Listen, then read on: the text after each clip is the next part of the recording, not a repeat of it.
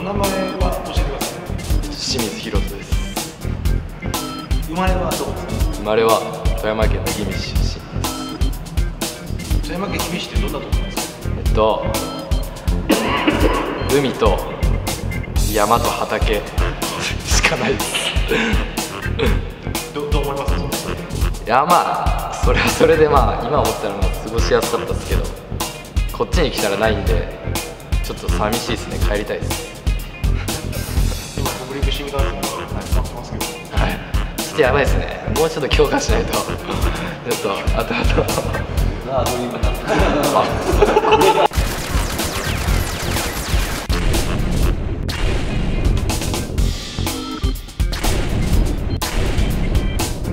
血液型は？あ A 型えーとまあそう関係ないかもしれない。けどこういう性格えっ、と僕はまあ人に自分のものを壊されるのが嫌いな性格ですいや特にないですけどなんか昔からなんかちょっと自分のものを大事にする。とかまあなんていうなんていうんですか自分のものを大事にしちゃうやばいねこれ俺終わったくさいよ。序盤にて終わっちゃったよ。もうああと負けず嫌いです。といやなんか自分のど自分と一緒になんか一緒に始めた人とかに負けてたらなんかちょっとムカついちゃってまあ表には出さないですけどなんか裏でちょっと頑張っちゃうみたいな。負けたことあります？じゃあ。そうですね。なんか大体負ける、まま、ちょっとの差で負けてる人生なんで。誰にも言ってました？いやそうですね。まあまあずっとまあ久保田久保田レオとかの日体にいるんですけど、まあ、中高とかはなんかずっとなんか2番手みたいな久保田清水みたいなそういう感じだったんでそれはちょっとまあ向かってしましたけど、まあ、今となってはまあ全然。えーと身長体重靴のサイズを教えてくださいえーっと身長が180180まあも靴履いて2ぐらいです。靴履いて2ですめちゃくちゃで朝は1ぐらいです。こいつめちゃくちゃい。や夜それでもまいやいや待って待って待って待って夜のえいや朝いや朝1あるか。朝181あるか。黙っとけよ俺の番なんや83や。いやうるさいちょっと。俺の前。で体重がえーっと80キロであと何でしたか靴のサイズは28です。もうちょっとこういうふうにやってるのありますこういう風になりたい。サイズ的に。あサイズ的に。身長あと5センチ欲しかったですね。なんでですか？いや5センチあったらプレーがなんか、まあ、スタイル的になんか幅が広がるんでそっちの方がやりやすいんで。体重はその体重はそうですね、まあ、80あるんでもうあと、まあ、5キロプラスぐらいで中学校とか高校の時のあだ名を教えてくださいやまあなんかいつもなんかチャラチャラしてるとか言われるんで、まあ、チャラ男。とか最近はなんかまだなんかちょっとメガネとかかけなんかハリー・ポッターとかなんか言われたりするんですけど。なんかここになんかちょっとなんかチャラついてライン入れてなんかメガネかけてなんかそうなんかハリー・ポッターとか言われました。最近だから結構髪型にも、ね、定評のある。そうですよね。やっぱりロン最初はまあ高校の時校則、まあ、結構厳しかったんでなんか大学来たら絶対ロン毛にしてやろうとか思っとったんですけどそしたらまたなんかちょっと大学の方からも注意されてまあ今はちょっとお楽しみで。荒れるよこれ。パンチやばいけど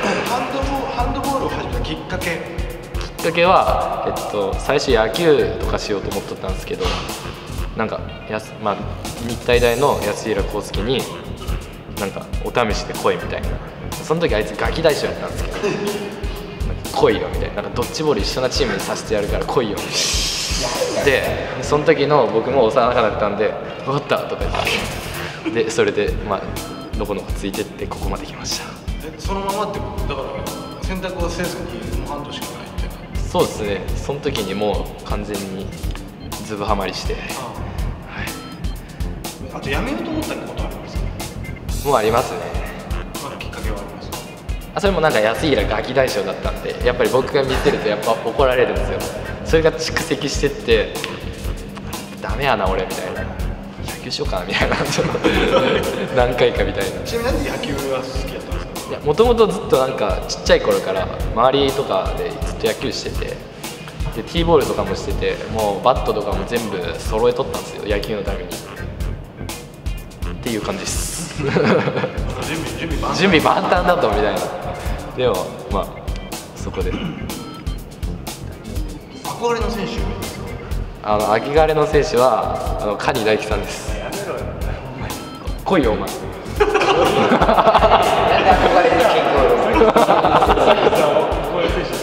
僕だよ顔だ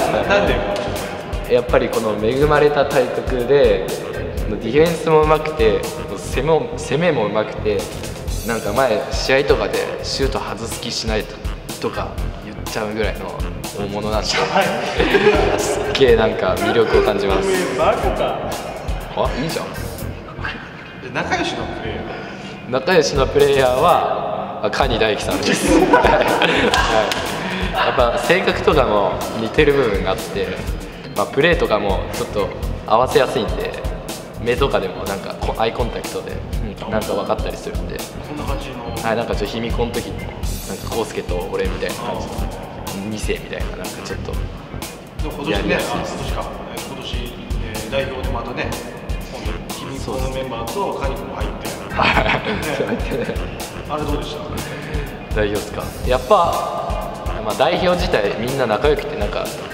他の世代とかも知ってるんですけどやっぱ僕らの世代一番仲良くて熱いチームやったなって思いますね。まずね、次の世代にも、暴れ回ってほしいです。そうですよね。やっぱ暴れないと。得意なプレー？得意なプレーはえっとフェイントでまあ相手のことちょっと煽りながらフェイントしてちょムカつかせたりとかなんかそういうちょっと遊びに走るプレーが好きです。煽る系だ。はい、もう僕はちょっと、はい、煽る系です。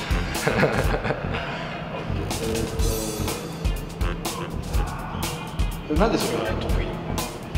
えっと、なんか、そうですね、なんか、型にはまったなんかプレーがもともと好きじゃなくて、なんか、人と一緒なプレーも面白くないと思ってて、自分の中で。その時に、なんか、なんかあんまり、なんか遊んでるプレイヤーって少ないなと思って、いやもう、旗から見ても遊んでるようにしか見えないプレイヤーになろうかなみたいなのがきっかけで、こういうスタイルになりました。不得意なプレー不得意なプレーは、まあ、言ったらなんかちょっと怒られるかもしれないですけどなんか1試合通してなんか集中するのが苦手で なんか気の抜けたプレーとかがたまに出ちゃうことがあります。どれくらいなら続けられるいや僕最大本気集中して20分ぐらいですかね。そしたら1回気抜けますね。その時は他の人に任せます。波のあるそうですね僕ははい。えっとまあ明治大学監督はどんな人ですか？監督はすごいなんか先輩のような感じですごいなじ馴染みやすいというか自分の意見も言えるしすごいなんかなんていうんですかね監督選手じゃなくて先輩後輩みたいな関係すごい馴染みやすい監督です。まあ、その監督はどういった練習をこういつもならではの監督ならでは。そうですねぱ監督がすごいなんか走高校時代に走り込みとかしててそういう時代だったのですごい速攻練習とか走り系が今は多いですね。それは試合に役立ってるそうですね。最後の局面とか一歩前に出る力とかがつきます。となんか清水選手はこういう練習したいっていう練習ってあります自分のプレーに出せる。ああそうですね。僕はフェインターなのでぱもっとフィジカル強化をしたいんですよ。そのと、まあ、ディフェンスとか、まあ、両立をしたいんでそそっちの面の方が今はしたいです。そのためにはどういった練習が必要だと思いますか？そうですね。やっぱ走り系を、まあ、文句文句になるのかなんかちょっと 毎日じゃなくて、まあ、週なんとか。うん週なんとか。そうです。なんか区切ってほしいですね。なんかメリハリというか食事のメニュー好きな食事のメニュー。まあ僕は昔から馬刺しが好きですいや馬刺しってなんか無限に食えるじゃないですか。馬刺しとかなんなんユッケみたいな。生肉。とか。チュルチュルっと入ってる。そうです。あそう結構ドロッとしたものが好きなんですよ。なんかメカブとか。あオクラとかまあそういうケース。あとろっとしてとろっとしたやつなん？好きです。ななんでとろっとしたんですかいやわかんないですね。なんか食べやすいか？食べやすいからあとご飯に合うからとかご飯にかけれるしみたいな。